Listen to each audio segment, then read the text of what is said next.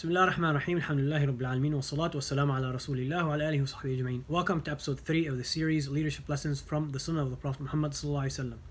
In this episode we'll take the story that Hudayfa anh, narrates. He said nothing stopped me or prevented me from um, witnessing Badr, the Battle of Badr, from being present and witnessing and participating in the Battle of Badr, except that I went out, me and my, my, uh, my father and I went out and to join the Prophet ﷺ, but we were caught by the kuffar of Quraysh.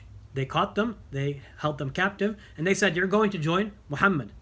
You're going to join Muhammad. In other words, you're going to join him and fight against us. So Hudayfa saying, So we said, him and his father, so he said they told the kuffar of Quraysh when they caught them, he said, No, we're not going to join him, but rather we're only going to Medina.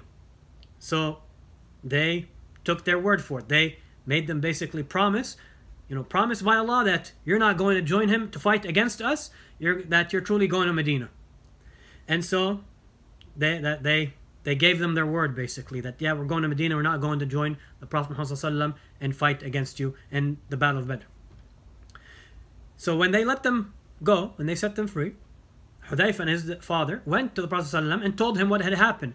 So the Prophet said, انصرف نفي لهم بعهدهم ونستعين الله عليهم go on leave in other words you said you're going to Medina go to Medina and leave don't come join us in the battle نفي لهم بعهدهم we will we will fulfill the trust we will fulfill that agreement that we've had between us and we will seek Allah's help against them subhanallah we see we learn so many lessons from this but specifically I want to share two leadership lessons that I learned from the Prophet ﷺ from this specific story, from this incident.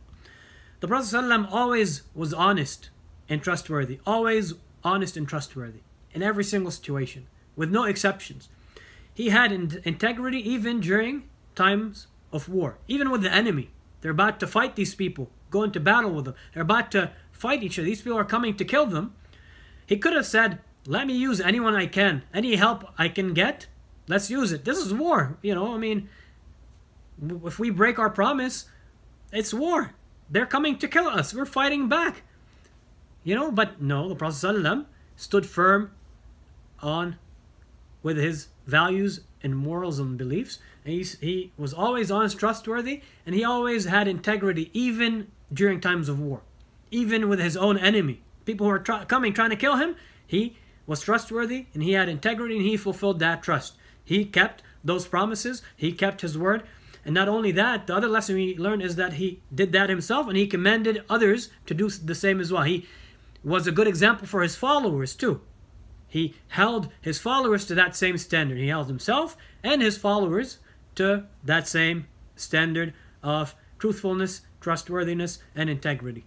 Barakallahu fikum, jazakumullahu khaira, wassalamu alaikum wa rahmatullahi wa barakatuh.